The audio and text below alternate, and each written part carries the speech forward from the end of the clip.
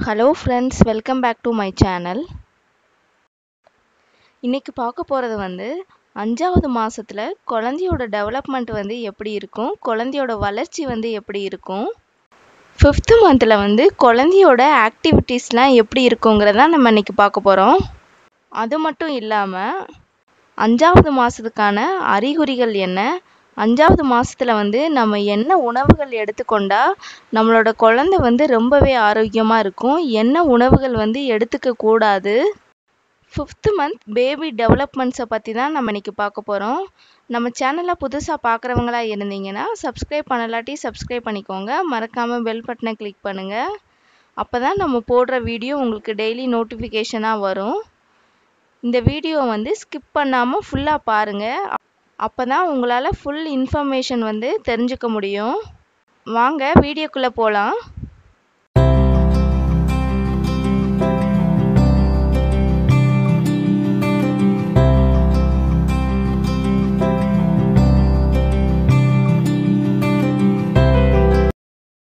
Fifth மந்தில் வந்து குழந்தையோட டெவலப்மெண்ட்ஸ் பார்க்கலாம். குழந்தை வந்து எந்த மாதிரி வந்து வளர்ச்சி அடைஞ்சிருக்கும்?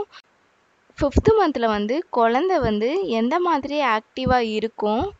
ஃபிஃப்த்து மந்தில் வந்து வெர்னிக்ஸ்னு எனப்படும் ஒரு தோல் வந்து நம்ம ஃபார்ம் ஆகும். அது வந்து பாக்டீரியா வைரஸ்லேருந்து நம்மளோட குழந்தைய வந்து பாதுகாக்கிறதுக்காக நம்ம குழந்தைய சுற்றி ஃபார்ம் ஆகும். அது மட்டும் இல்லாமல் அமினாய்ட் ஃப்ளூயிடும் வந்து இந்த மந்தில் வந்து குழந்தைய சுற்றி நல்லாவே பாதுகாப்பாக உருவாயிடும். ஃபிஃப்த்து மந்தில் வந்து குழந்தைக்கு வந்து கால் கை நகம் எல்லாமே வந்து நல்லா வளர்ச்சி அடைஞ்சிருக்கும். ஃபிஃப்த்து மந்தில் வந்து குழந்தைக்கு வந்து புருவம் கூட உருவாக ஆரம்பிச்சிருக்கும். கண்ணோட முடி காது நகங்கள் எல்லாமே வளர ஆரம்பிச்சிருக்கும். இந்த மாதத்தில் வந்து குழந்தைக்கு வந்து காது வந்து நல்லாவே கேட்க ஆரம்பிக்கும். வெளியில் வந்து நம்ம என்ன சத்தம் போட்டாலும் அதுக்கு வந்து டிஸ்டர்பன்ஸ் ஆகிற அளவு அதால் ஃபீல் பண்ண முடியும்.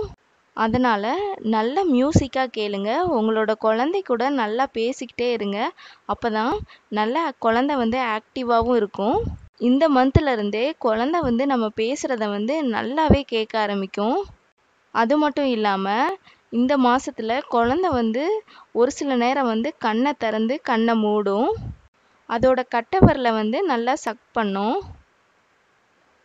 குழந்தை வந்து இந்த மாதத்தில் திரும்பவும் அதால் முடியும்.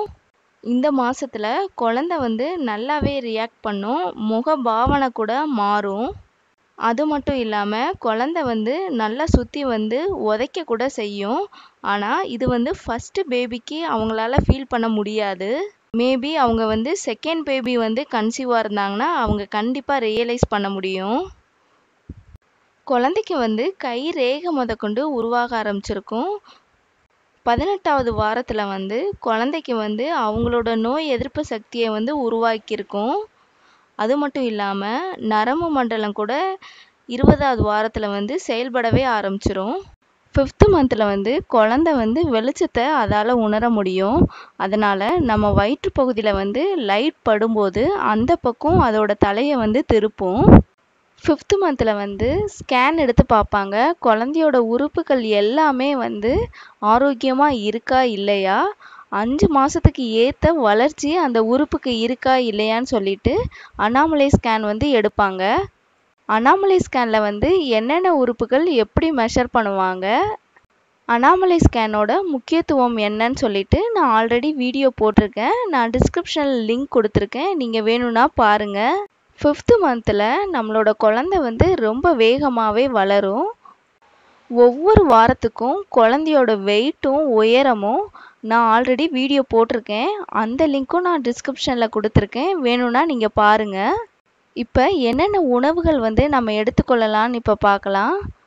ஃபஸ்ட்டுன்னு பார்த்தோன்னா பாதாம் முந்திரி வால்நட் அத்திப்பழம் கருப்பு உலர் திராட்சை இது எல்லாமே எடுத்துக்கலாம். இதெல்லாம் நம்ம எடுத்துக்கும் போது அதிகமான ஹீமோக்ளோமின் லெவல் வந்து அதிகரிக்கும். அது மட்டும் இல்லாமல் முருங்கைக்கீரை சூப் வந்து டெய்லி நம்ம எடுத்துக்கலாம். டெய்லி ஒரு கீரை வந்து அதிகமாக எடுத்துக்கலாம்.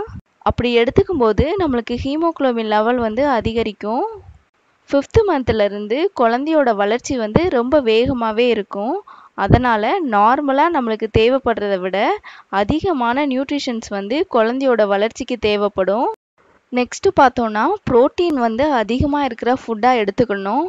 ஏன்னா நம்மளோட பேபியோட ஃபிசிக்கல் டெவலப்மெண்ட்டுக்கு இது ரொம்பவே யூஸ்ஃபுல்லாக இருக்கும்.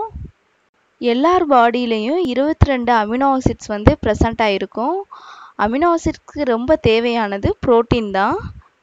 நிறையா நட்ஸ் வகைகளில் வந்து புரோட்டீன் வந்து அதிகமாக இருக்குது நெக்ஸ்ட்டு பார்த்தோன்னா கால்சியம் வந்து அதிகமாக இருக்கிற ஃபுட்டாக நம்ம எடுத்துக்கணும். கால்சியம் வந்து எதில் அதிகமாக இருக்கும்னா பாலில் அதிகமாக இருக்கும். ஒரு சிலருக்கு வந்து பால் பிடிக்காது. ஃப்ரூட்ஸில் வந்து எந்த ஃப்ரூட்ஸில் வந்து கால்சியம் அதிகமாக இருக்கும்னா கிவி பழத்தில் வந்து அதிகமாக இருக்கும். கால்சியம் வந்து நம்ம குழந்தையோட போன் டெவலப்மெண்ட்டுக்கு ரொம்ப யூஸாக இருக்கும். அது மட்டும் இல்லாமல் டீத் டெவலப்மெண்ட்டுக்கும் கால்சியம் வந்து ரொம்ப யூஸ்ஃபுல்லாக இருக்கும். அதிகமான ஃபைபர் கண்டென்ட் இருக்கிற ஃபுட்டாக எடுத்துக்கோங்க. அப்போ தான் நம்மளுக்கு வந்து மோஷன் ப்ராப்ளம்ஸ் வந்து வராது.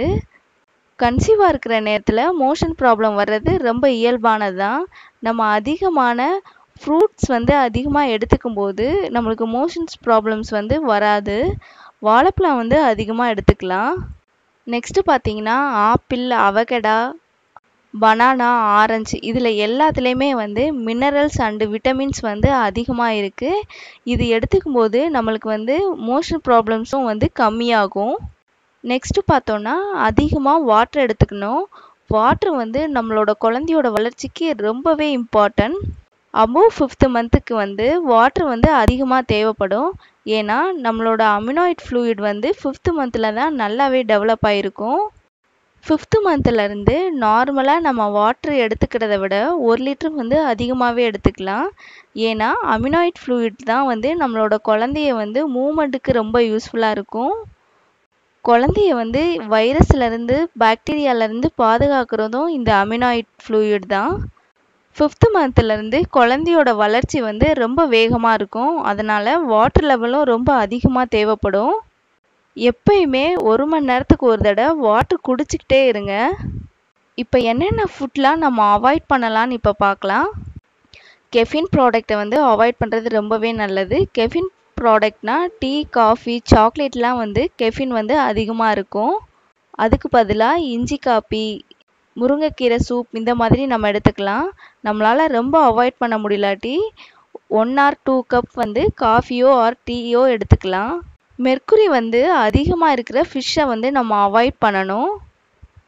மெர்க்குரி வந்து அதிகமாக இருக்கிற ஃபிஷ்ஷை நம்ம எடுத்துக்கிட்டோன்னா நம்மளோட குழந்தையோட மூளை வளர்ச்சியே ரொம்ப பாதிக்கும்.